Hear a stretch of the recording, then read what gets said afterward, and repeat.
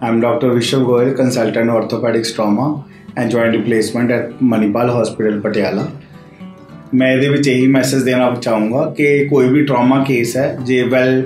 manage ਹੋਵੇ ਤਾਂ patient ਜਲਦੀ ਮੋਬਿਲਾਈਜ਼ ਹੋ ਜਾਂਦਾ ਹੈ ਤੇ ਜਿੰਨੀ ਜਲਦੀ ਮੋਬਿਲਾਈਜ਼ ਹੋਏਗਾ ਪੇਸ਼ੈਂਟ ਉਨੇ ਹੀ ਉਹਨੂੰ ਰੀਹੈਬਿਲਿਟੇਸ਼ਨ ਟਾਈਮ ਛੋਟਾ ਹੋ ਜਾਏਗਾ ਤੇ ਉਹ ਆਪਣੀ ਰੂਟੀਨ ਲਾਈਫ ਦੇ ਵਿੱਚ ਜਲਦੀ ਚਲਾ ਜਾਏਗਾ so that is meant for orthopaedics trauma surgeries so it should be done in good hand safe hands and as early as possible